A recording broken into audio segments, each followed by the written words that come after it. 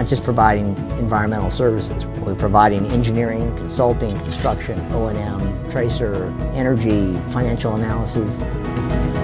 As an engineer, I could have done all sorts of things. I could be designing a little widget, I could be designing a fidget spinner, but I'm doing something that is really providing an, an actual benefit to the world in general and the specific place where I live.